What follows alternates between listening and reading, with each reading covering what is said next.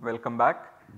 We are now going to prove Lagrange's theorem which says that every positive integer can be written as a sum of at most 4 squares. This is the result that we want to prove. We have made some progress in the last lecture already. We proved some statements towards this proof. So, let us see those statements. The first one that we have proved is that this form is multiplicative. That means if we take two numbers which are sums of 4 squares. So, suppose we have a square plus b square plus c square plus d square and we multiply to this by x square plus y square plus z square plus w square. Then this is again a sum of 4 squares alpha square plus beta square plus gamma square plus delta square. I remarked in the last lecture that this is of course true for sums of 2 squares which we have proved and it is also true for sums of 4 squares but this is not true for sums of 3 squares. This is related to the remarkable discovery of quaternions by the British mathematician Hamilton, but I will let you search on internet for that and we will proceed with this. So, after proving that this form is multiplicative, we only need to prove that every prime can be written in this way, that every prime is represented by this form. That is the only thing we need to prove. So, we start with the first uh, prime p equal to 2 and we also saw in the last lecture itself that 2 is represented by this form. You can write 2 as 1 square plus 1 square plus 0 square plus 0 square and now the only thing that remains to prove is that every odd prime is also represented by the above form. So, now we will not keep referring to this form again and again. This is the form that we are looking at. We are not considering any other quadratic form until we complete Lagrange's theorem's proof. So, we will just keep calling this form as the above form or simply the form in the next statements. Okay. So, let us see this basic lemma. Suppose P is an odd prime, then MP is represented by the above form for some 0 less than m less than p. What we want to prove is that p is represented by this form. So, we would eventually prove that the m is equal to 1. We have that there is m equal to 1 such that mp is represented by the above form but we will first obtain this slightly weaker result that a multiple of p moreover that multiple is by a number which is less than p. So, we have a multiple of p which is less than p square that is represented by the above form which is the sum of 4 squares. So, let us see the proof of this statement. We consider two sets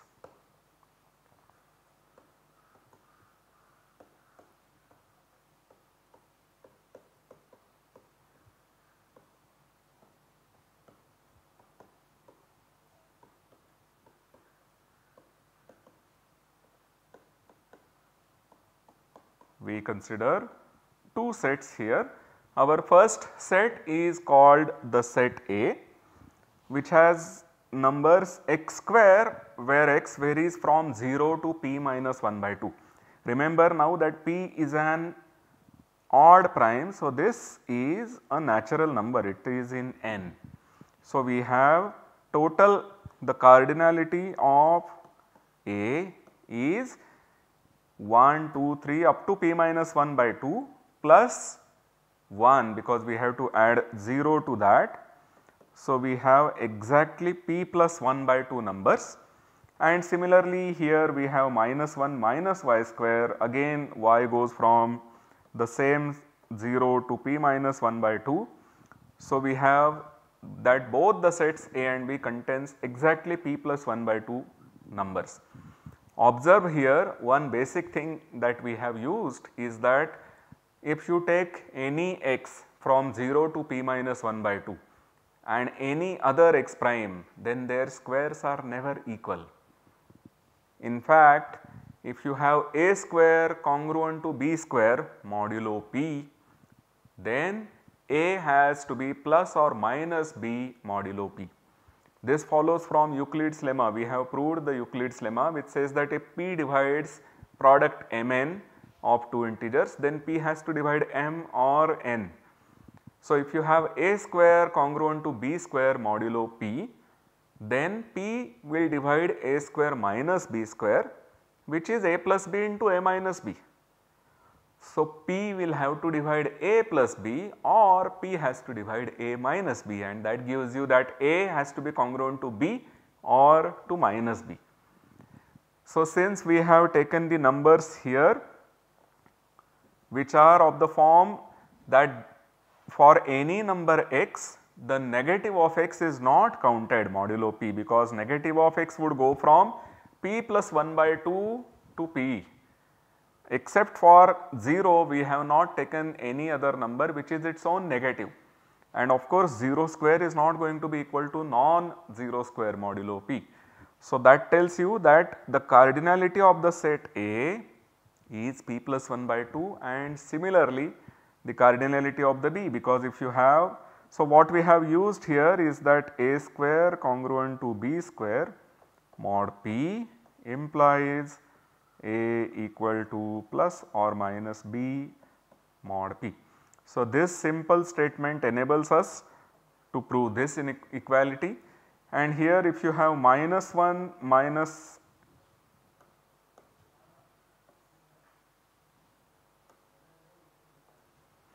if you have minus 1 minus y square equal to minus 1 minus z square this would imply that y square equal to z square and then again y equal to plus or minus z mod p. So, this would imply equality and so you have that this holds modulo p which is again a contradiction. So, this enables us to prove this equality. So, now of course, both A and B are contained in when you look at them modulo p they are contained in 0, 1, 2, 3 and so on up to p minus 1 modulo p and both have p plus 1 by 2 elements. So, there has to be a common element in them.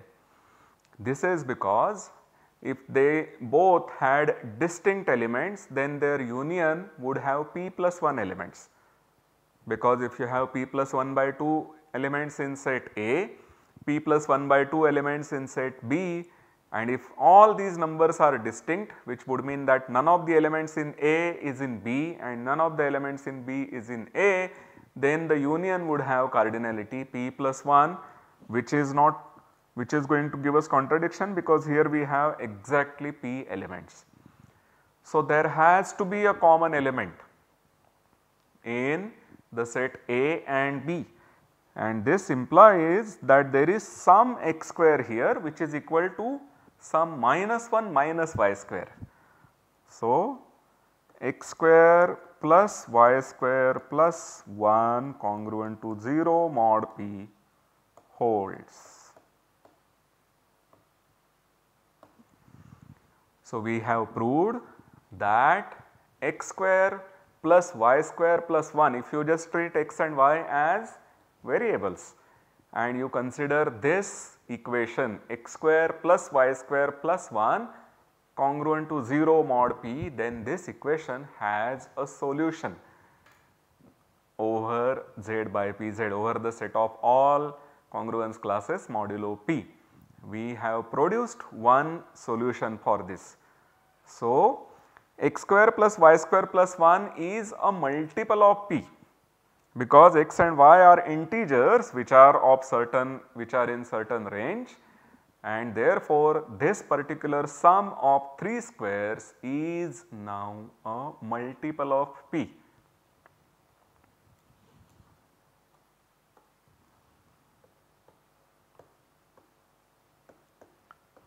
let us call this sum as MP.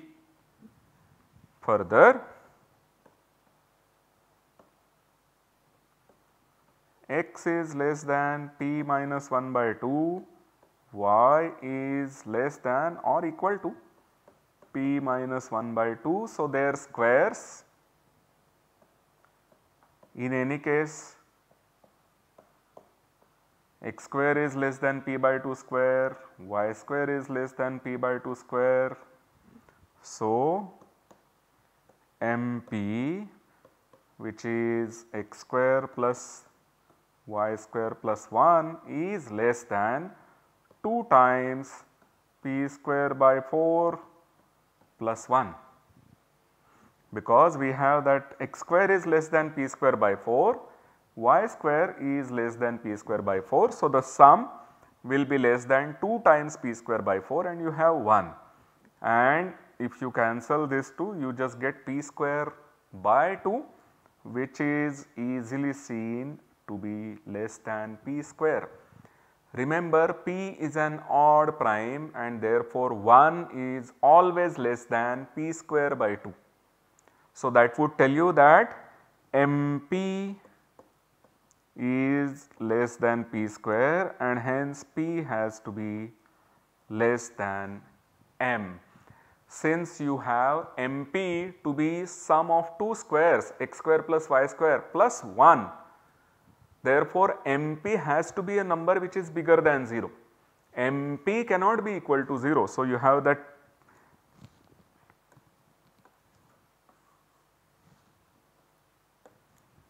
So, we get here m less than p, but we will also get that m is bigger than 0 because this quantity here is certainly bigger than 0. You have 1 here which tells you that mp is bigger than 0 and so m cannot be 0.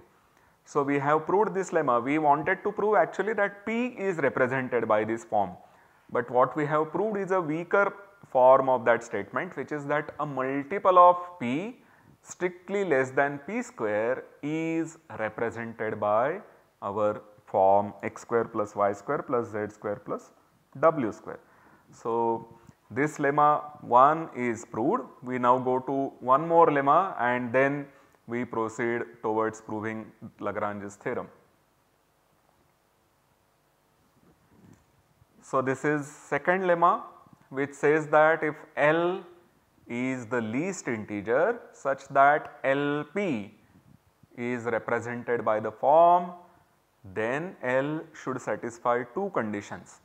First of all L has to be less than P and secondly that L is odd. So, what we are looking at is the following thing. So, let L be the least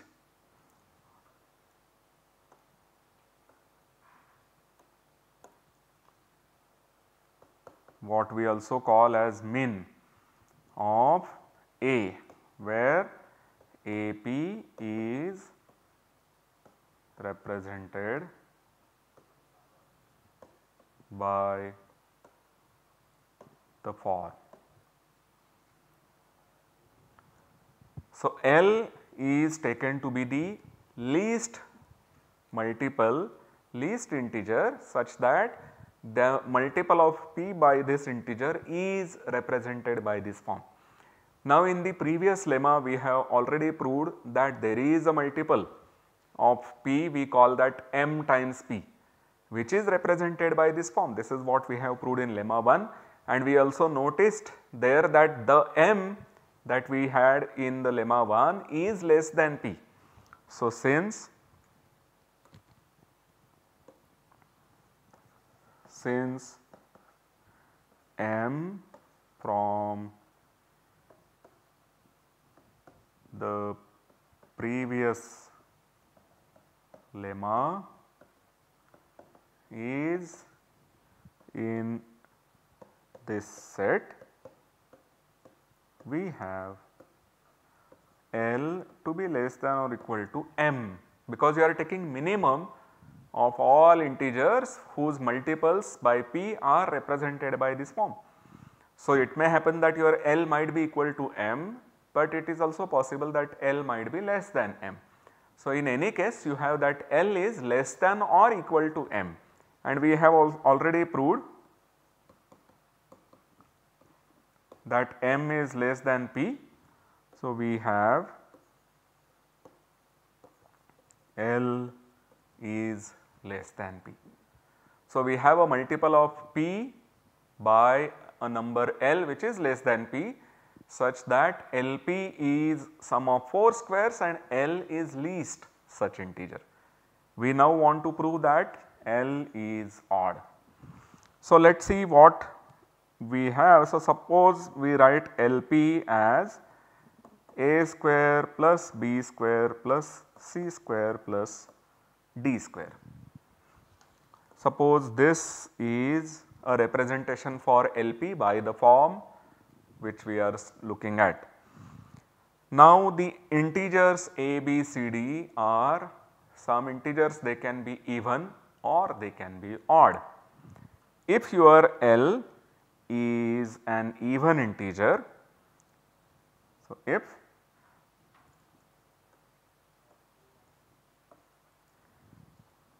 I will use the next slide for this.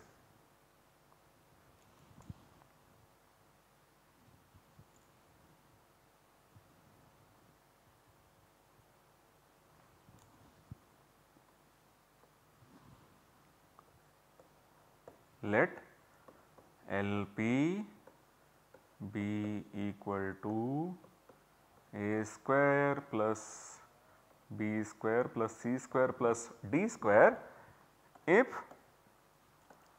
L is even then among the A, B, C, D an even number of elements are even and an even number of elements is odd. So, we have these 4 elements A, B, C, D. Suppose that A is odd and B, C, D are even. If that is the case then B square plus C square plus D square are all even their sum is even and you have A to be odd. So, A square plus this even thing will actually give you an odd number which will mean that LP is odd then L cannot be even. So, similarly whenever you have an odd number of odd elements among the ABC, you have that the their sum their squares will sum to an odd number and the remaining numbers are anyway even. So, the total sum is odd which will mean that L has to be odd. So, if you happen to have L to be even then 2 of them are odd, 4 of them are odd or none of them are odd. So, the number of odd elements among A, B, C, D is either 0 or 2 or 4 and we can rearrange them in such a way that A, B are of the same parity and C, D are of the same parity. That means A and B are both odd or both even and similarly C and D are both odd and both even. So, if you have this then what do we get?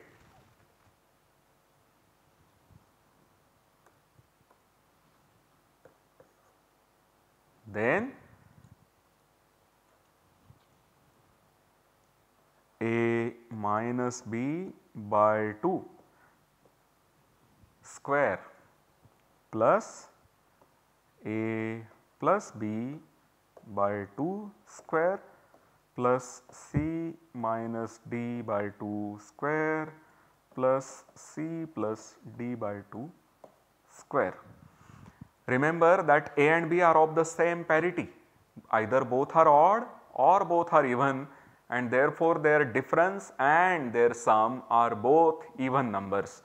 So, these 4 numbers are all integers. So, we sum these up here we get let us take the 1 by 2 square common that will come on the outside and we have a minus b whole square plus a plus b whole square. This will give us a square, this gives us a square. So, you have 2a square plus 2b square and the minus 2ab that you get here will get cancelled with the plus 2ab that you get here. Similarly, here we have 2c square plus 2d square ultimately we get that this is L by 2 into P because the 2's that you have here will get cancelled with the 2 that appears in the denominator. So, you have a square plus b square plus c square plus d square divided by 2 and so you have a multiple of p which is smaller than L because L was even and L was positive. So, we have now a multiple of p which is less than L and this multiple into p is also sum of 4 squares. We have actually these 4 integers whose squares sum to this particular number. So, we therefore get that L cannot be least. This is a contradiction to our assumption that L is an even integer. So, this contradiction says that L is even this assumption cannot be true and therefore L has to be odd. So, we are taking the least positive integer where LP is represented by this form then L is an odd integer strictly less than P. With this two lemmas now let us go and prove Lagrange's theorem which is that essentially Lagrange's theorem because we are going to prove that every odd prime is represented by the form then Lagrange's theorem will follow very soon after proving this result. So, this is the integer that we want, this is the theorem that we want to prove that if p is an odd prime and if L is the least positive integer with the property that LP is represented by the form then L has to be 1. So, we will start by assuming that L is not 1 and get a contradiction. We have already noted that L is here, L is odd. These are two very important results that we have obtained, they are going to be used. Now consider, so assume that L is bigger than 1.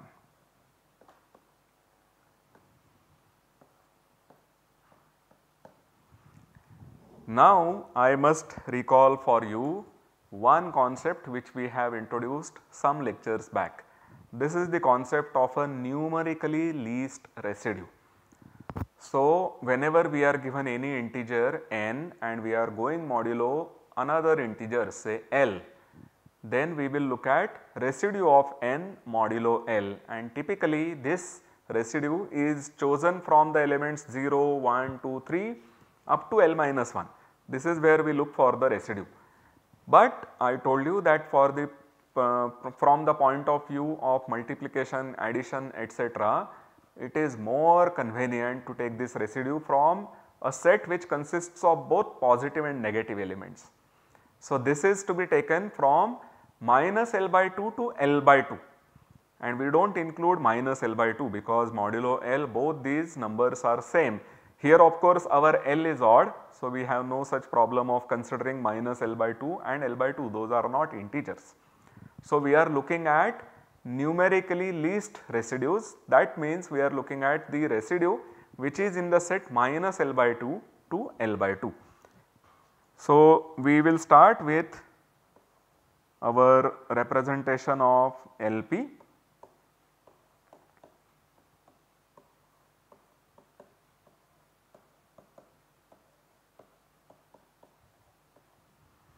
This is our representation of LP by the form and let x prime, y prime, z prime and w prime be the numerically least residues of x, y, z and w modulo L respectively. What do I mean by respectively? Respectively would mean that x prime is the numerically least residue of x, y prime is the numerically least residue of y, z prime is the numerically least residue of z and w prime is the numerically least residue of w. This is what we mean x prime, y prime, z prime, w prime are some integers after all. Let n be the sum of their squares.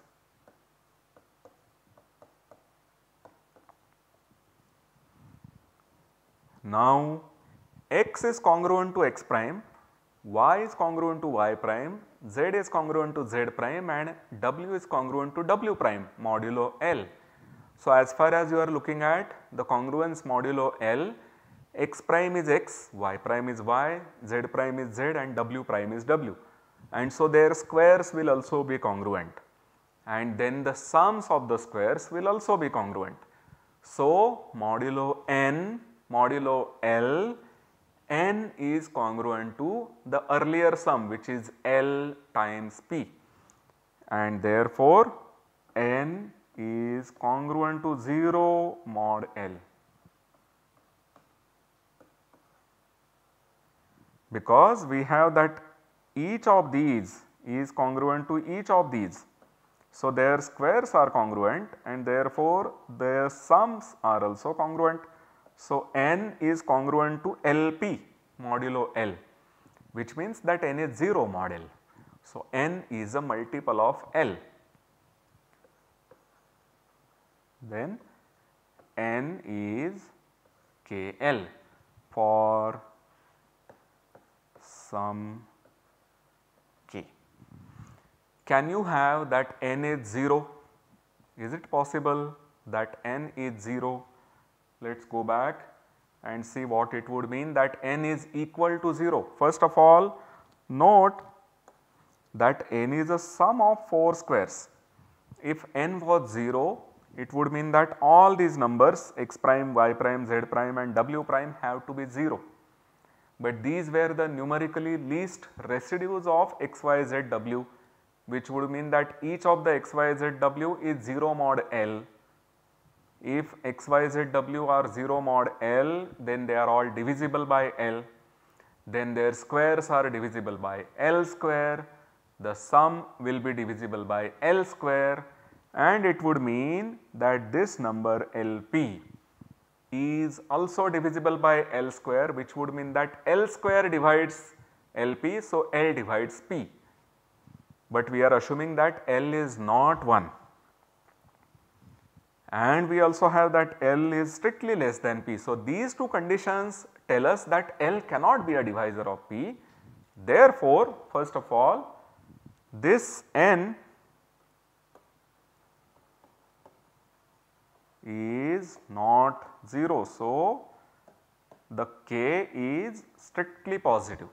Further we have that each of the x prime square, y prime square, z prime square and w prime square is less than L by 2 square. Remember L is odd. So, L by 2 is not an integer. So, each of the x prime, y prime, z prime, w prime will have to be strictly less than L by 2 and so their squares are less than L by 2 square which would mean that their sum is less than 4 times L by 2 whole square which is L square. If n which is k into L is less than L square it would mean that k is less than L. So, now we have obtained a multiple of L which is k into L which is also represented by the form so, you have KL is represented by the form, LP is represented by the form, Moreover, we know that the form is multiplicative. That means the product KL into LP has to be represented by the form.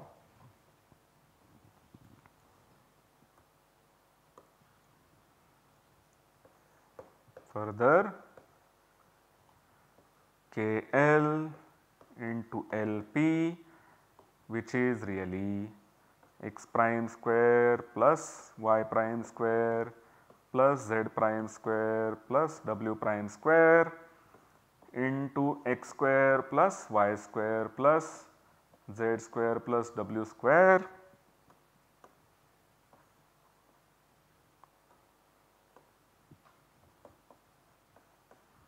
has to be represented by the form again and we will write this explicit formula.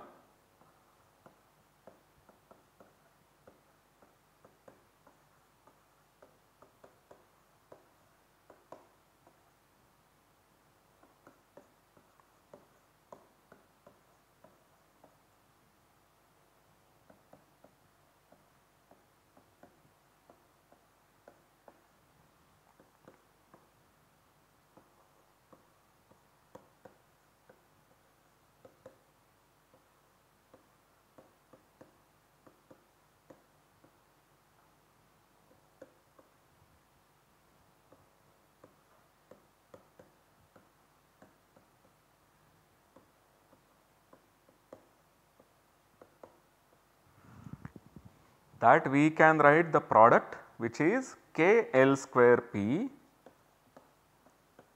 as a sum of 4 squares. Now we make one very important observation. In all these sums of squares, here these two numbers see x is congruent to x prime modulo L and y is congruent to y prime modulo L. So, this number which I have underlined here is 0 modulo L. Similarly, this is 0 modulo L. So, this whole number is 0 mod L square, the square is 0 mod L square. Similarly, this is 0 mod L square, this is 0 mod L square. That means that these 3 terms are divisible by L square. We have that here we have divisibility by L square which would imply that this term should also be divisible by L square. So, you can simply cancel L square from all the terms that you see here giving you a representation for Kp by the form that we are talking about which would mean that Kp is also a sum of 4 squares. Here all these 4 squares that appear are each of them is divisible by L square that means if you divide by L square you get an integer square. Each of the terms in the bracket is divisible by L. So, you have that each of the term divisible by L is an integer and therefore you are going to get sums of 4 integers 4 integers to be equal to k into p, but k is less than L. This is something that we have already observed. And so therefore you have now a multiple of p by an integer less than L which is also represented by the given form that is a contradiction because you had started with L being the least. So, if your L was not equal to 1 we get a contradiction and therefore L has to be equal to 1 which proves our result. So, what we have proved let me just recall is that the form is multiplicative 2 is represented by the form and every odd prime is represented by the form. Now getting Lagrange's theorem from this is very easy. We will see it the first thing in our next lecture, but we have to stop here for the time constraint. See you soon. Thank you very much.